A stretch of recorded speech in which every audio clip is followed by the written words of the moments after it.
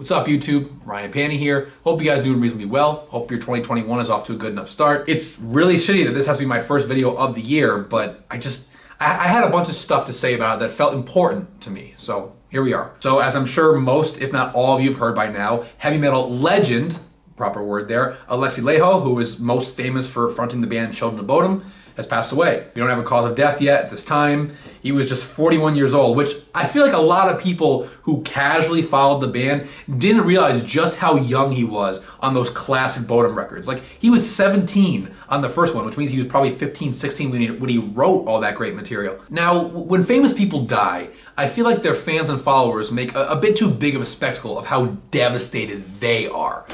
And I'm going to spare you guys a lot of that because I, I feel like all the reasons that I'm upset are, selfish.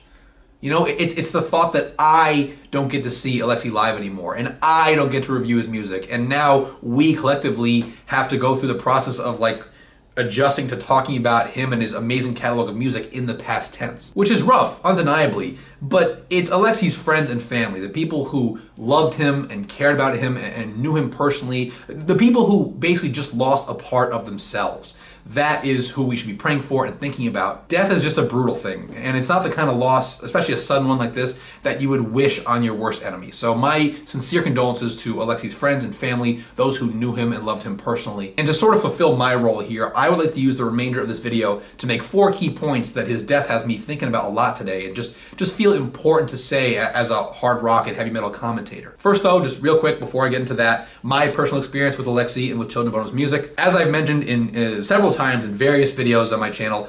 Children of Bodom were easily one of the top five most listened to bands of my whole childhood.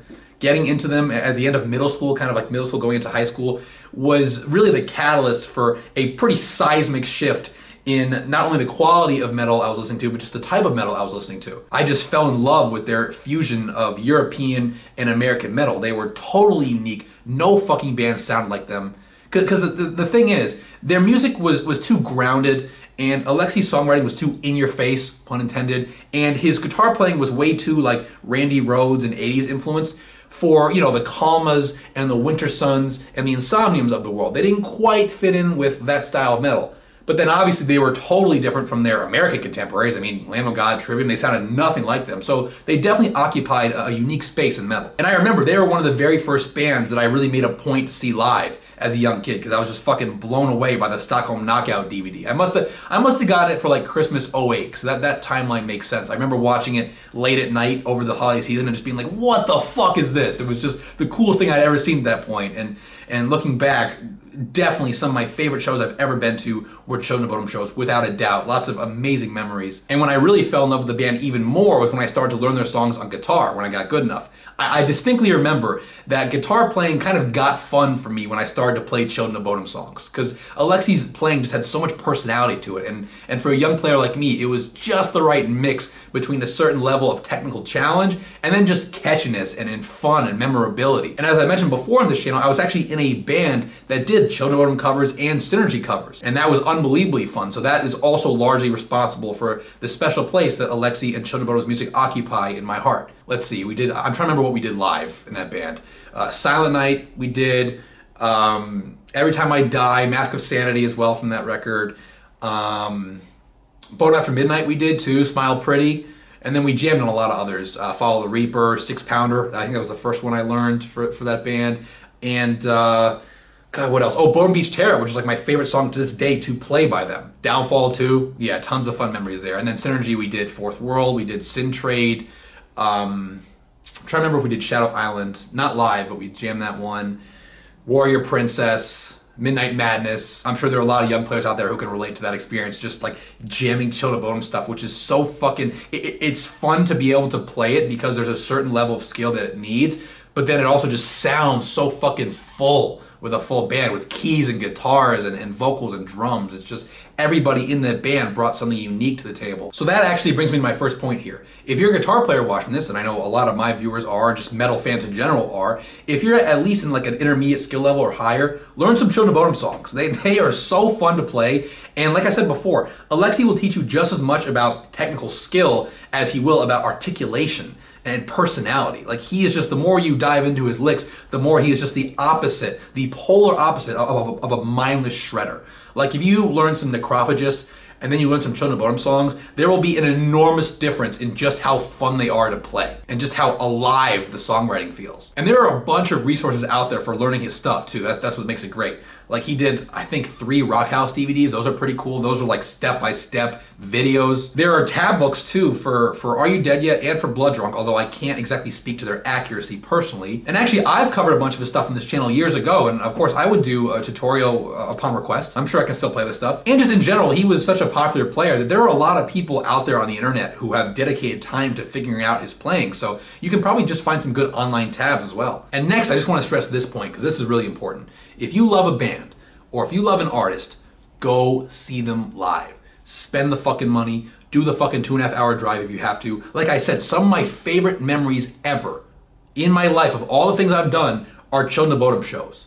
And yeah, sometimes I drove a little bit out of my way. Sometimes I blew off other shit, especially in college. You know, I blew off mixers and parties and dates and whatever to see bands I love. But you look back and it's like, what memory is easier to replace fucking going out with people you go out with all the time or seeing a band at a particular moment in time. Like, do you have any idea how many obnoxious fucking boomers I've had to listen to say, man, in the 70s, I had a chance to see Led Zeppelin and then I didn't, now I wish I did, but. Right? It's like, this is a very special, specific moment in time. Whatever show you're at, it's the only show like that that's ever gonna happen. So fucking go. Just if you're ever on the fence, that's just my personal advice because I've also made the wrong decision and gone to stupid shit instead of, you know, I remember specifically I blew off a three hour Machine Head show. Remember when they were doing that evening with?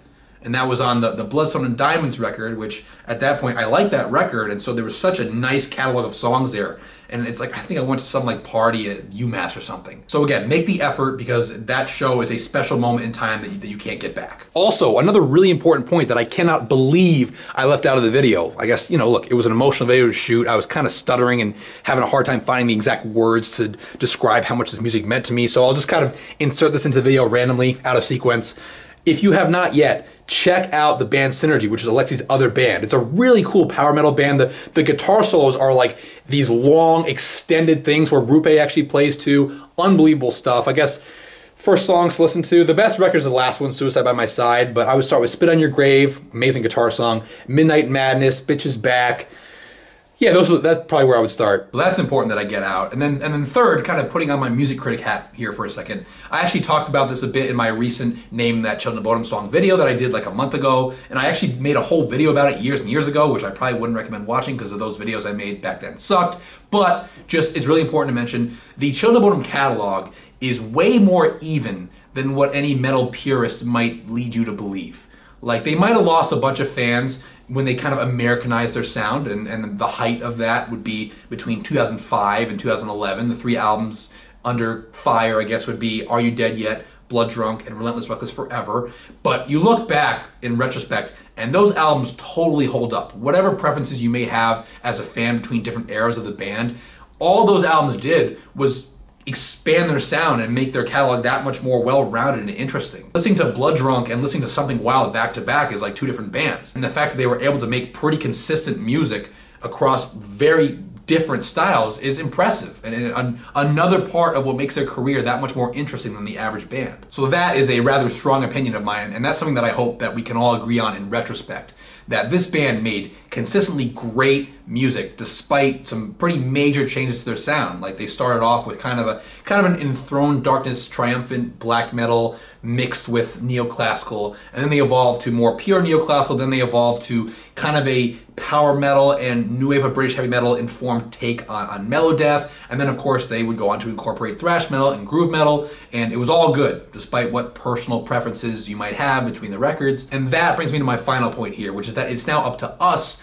to maintain the Children of Bodom legacy as the fans. Because I feel like metal musicians and fans alike have a lot they can learn from Children of Bodom. And, you know, when the year 2050 rolls around and we're still having the same conversation about who are the best metal bands of all time, I really want Children of Bodom to be in that conversation. I would love to see the greatness of Alexi and the whole band transcend generations. Like, not this is the same commercial level exactly, but Pantera is a good example, right? Their music is basically as big now as it was in 1992 Like I wasn't even born when Vulgar or Far Beyond Driven came out, and those are two albums that I grew up on and that I love. So that's something that I will always do my best on, just educating people on the greatness of this band and and what made them great. Because you know we learn a lot from bad music by criticizing it, by saying okay this is what not to do, but we learn just as much, if not more, from really exemplary music. And yeah, if you're watching this video and you're new to the band, um, I've actually made a bunch of content about them. You can go check that out. Obviously, I'm happy to answer any questions about navigating the band's catalog. What are the best songs and eras depending on your preferences? I'd be happy to help you with all that. Yeah, it sucks to say this, but rest in peace, Alexi Laiho, one of my